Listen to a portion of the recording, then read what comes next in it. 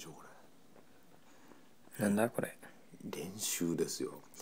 万博マラソン万博駅伝にね出るってことでねこうやって夜走って練習してたんですよ。マラソンっていういうのはね練習戦ととてもやないけど走られんちゅうことがまあ僕も分かってね。今の松田さんすか走ってた突然、うん、そう。突然走ったから絶対無理っちゅうことが分かったからこうして練習しとったんですね。なかなかねすごい体力やったんでしょうね。オープニング。これね要は万博でやった駅伝大会に出たんですよ、和美ちゃんと一緒に行きましたよ。でねこのね和美ちゃんの FTR 見てください。何から何までかっこいいんですよ。ほこの超絶マリンブルー。綺麗でしょ。これねあのナックルガードも青。でハンドルがね綺麗にうまいことねオフオフハンドルで詰めてハンドルでね、あのちょっとだけ乗らせてもらいましたけどね。乗りやすかったね。あのハンドルが狭くて、うほうん、でキャリアもね綺麗なアルミのやつをつけてあのね全然隙がなかったね。うん。う綺麗な感じ？美しいはっきりしててまあここまでやるとかっこええって感じだったね。うん。なかなかねファッションもバッチリね反射装束このメロリーナの連中もね全員この和美ちゃん式にね全部上から下までカチッと決めりゃねおかっちょいいオートバイ乗りですねみたいになるんですけどね。どうも僕らはいかんこれね。僕なんかこれ着てるこのこの服なんかねなんかこれいついつ買うたかわからんような作業着ですからねこれ。とにかく古い。青のやつか。せやねん。赤ではないんか。うん、ヘッジもジャケットもねとにかくもう完璧にキメキメでしたからね。見ててね非常にかっこよかった。これ万博公園走ったんですよ俺。走った。ああ駅伝走った。しんどかった？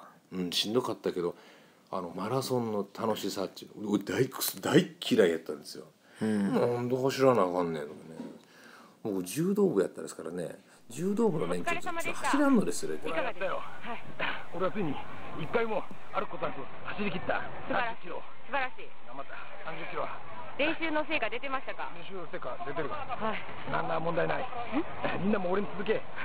了解しました。お疲れ様です。ありがとう。そんなねもう全然走らへんで俺がねうん。走れるようになったという。いいね。うん、なんか自分で嬉しかったね。俺走ってるとか思ってね。ほんでゴールした時のあのそう達成感爽快感。うん。何者にも代え難い。ビールがうまい。異常にね、もういいね。うん、でこの万博マラソンがねまあお昼過ぎぐらいに終わったんですかね。それからね今度はねあの武田を、えー武田温泉にね向けてねオートバイ組はね走り出した第2部はツーリングですよ。しんどいなやら ごっついんですよ。で今ではねこの考えつかないねあのこの欲張り元気企画、マラソン駅伝走ってその後ねツーリング行こうとしてんですから。今の松田さんじゃ無理？とても無理。もう考えらんでこれねじやめた方がいいね。やりすぎた。実際この時もね体ボロボロ時間間に合わなかったのがあの本当の話ですからね、で道にね、えー迷いまくって真面目にちゃんとね、あのなんつうんですか地図を見て立派な道路を走っときゃええのにねなんか思いつきで曲がったりするとねだんだんだんだん目的地から遠ざか遠ざかっていってね、一番良くない例だね。僕なんかの本来道のプロのはずなんですけどね。あの全然ダメ。全く。でえらい遅れてしまいました。よいしょ。混雑混雑してましたしね。よ今思えばねこれメロリーナもしかしてこれ最高台数やったかもしれないですよ。何が？これ FTR やろ？俺の、うん。和美ちゃんも FTR うん。でグラストラッカーは2台。うん。そこにあの新さんのあの SL230 は5台ですよ。ほんで実はね俺は後ろにねあの女の子乗してましたからね人数でいうと6人。あうん。どうですかこの大所帯。意外に多いね。あーなんとあのメロリーナ最高台数集まったのはこの時ですなこれ。この時だけ？この時いやね。だけですね、一応ね関西で一番ね大きなねあのツーリングクラブになろうと思ってこう目指してますけどこの時が最高ピークでしたね、うん。ここからねいけませんでしたね。この和美ちゃんこの和美ちゃんはねこの後ねあのねハーレーのエンジンを積んだねビューエル買ってビュンビュン日本中を走り回るね。本物ライダーになりましたけどね。はあ。らすごい女の子でしたよな。かなか明るくていい子でした。これこれ何してんですかねこれね。地図がわからないから地図見てんじゃないですかこれ。あ FTR かこれ。これがねグラストラッカーのビッグボーイ。このタンクを変えたら ST になるんですよ。へえ面白いですねこれね。ねこの万博公園からまた旗立ててるでしょこれ。やってるな。パタパタと。これはちょっと俺実はね今も再現したいねんな。うん。これほど気持ちのいいものはないよ。旗残ってないんじゃんあとボロボロになったん。ガ無理か。さすがに。でもなんか別の旗を仕立てな。だじゃあの旗棒が取られてしまってなくなってしまいましたよ。ちょ取られた？そらお前はゾッキーは旗棒必要ですからね。でゾッキーをパクられてしまいましたねちょっとね。どなんかこれどうですかこれ。これはあのやらせメンバーとかでじゃないですよ。これ本物ですよこれ全員。なんかこうツーリングクラブって感じしますねこれ。しかしこう見てくださいこの写真。和美ちゃんだけバッチリキメキメであとはこのやっつけ装束。いかにも手抜き。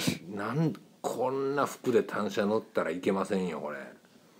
ナットランですねこれはねもうやっぱりこれももう黎明期って感じがしますね。なんでなんですかこのこんな生倉の服を着ていてはいけませんね。誰ですかこれ？これあのシンさんですよ、うん SL のって。KZ シン？それはあの KZ シンさんです。KZ シンさんとシンさんはね別人なんですね。こっちのシンさんはねでっかいシンさん。どっちもでかいですけどね。全然わかんねこれねえ満面の笑み。そう。結構ねまあ思っても宝塚なんですよ要は。宝塚？うん。生瀬っちゅうとこね。はこの生瀬っちゅうところに単車を置いて。あうん。ほんでそこからねあの要は旧福知山線ね国鉄の。昔その SL の走ってたようなね伏線じゃ単線の。そのあの線路がもうあの廃線になっとってねレールが取っ払われてるんですよ。うん。でそのレールを取っ払われてるとこはねハイキングコースにね、まあ、非公式だったけどなってたんですな。うんでそれで一駅歩いてあんた行ったじゃないですか。あんた行ってますよ一回。あの全然覚えてないです。はい。お疲れ様です。あのトンネルの真っ暗なところ。真っ暗なトンネルを歩いてあんた行きましたよハイキング。恐怖の。はあ？心霊写真まで撮れてしまったあそこ。全然覚えてない。全然覚えてない。チビだな。はい覚えてないです。まあとにかくねまあそれを一駅歩いてね。んでまあ仕上げようと思ったんですね。うん。でこれね一生懸命ね。これなんでこの道中の写真がね珍しくいっぱいあるかっていうと俺があの女子と二血やったからですね。このまあ後ろのねあの某女子がですねパチパチパチパチ撮ってくれたんでこんな風にあの道中のこのスナップ写真が残ってるっていうそういうことなんですよ。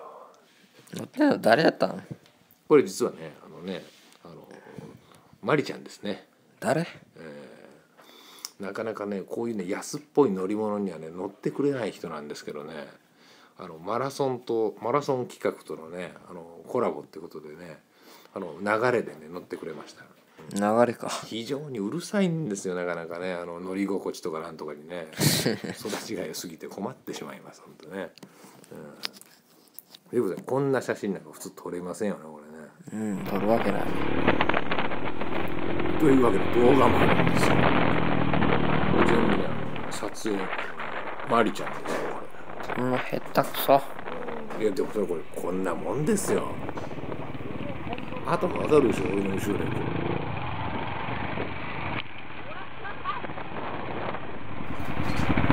う見事にね全員トラッカーでしたねトラッカートラッカーとかおっしゃってね 240cc の短期とか5台とかね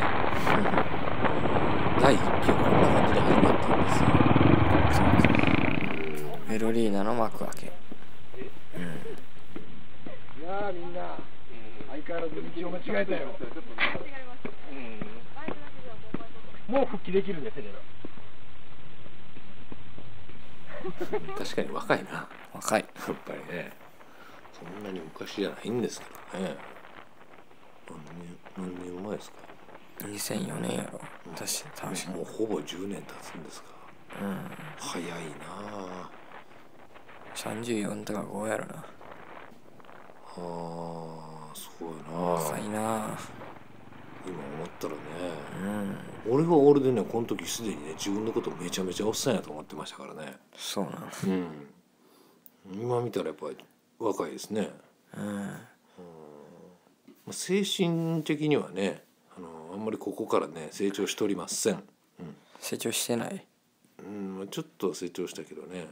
あまあ読んだ本の数があのね何十冊分積み重なってたっちゅうだけでね。うん終わっちゃった。あ終わっちゃった？うん、これもねだからねとにかくヘビーなツーリングこれで高で武田温泉に結局とはたどり着かなかったんですよ。ああまさかの。あのウォーキングができなくてね時間切れで。うん。でこれ後日実はね鈴郎さん組はねもう一回再度トライしたというねオチがあったんですねこのツーリングには。ほうほう。まあ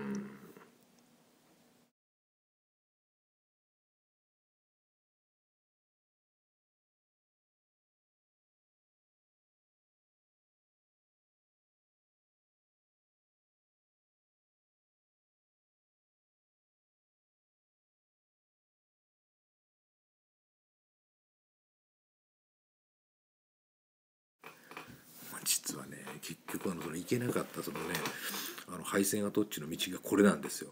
この時あの枕木が残っとるでしょう、うん。まあ今はねこの枕木をみんな取っ払われてねこれね取ったんねあのもう身長190何センチみたいなみたいなアングロサクソン人にでしたよこれ、誰なんやこのアフロは。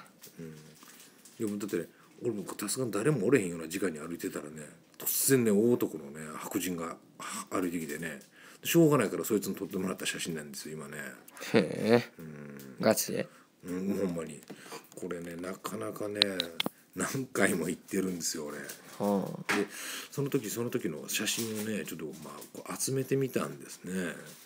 でおっと右にいるのは？これは雪絵城ですね。ですね。これねあの薫城とか雪絵城とかねこういろんななんとか城と一緒にねあのグループ交際のねあのデートでも行ってますしね。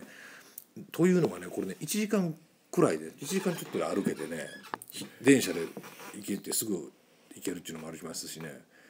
非常にお手軽なねででトンネルに照明がないでしょ。うん。でエキサイティングなんですね結構。で景色もいいしね非常にいいあのハイキングコースでした。だから僕はねだから5回6回ぐらい行ってますよ実際。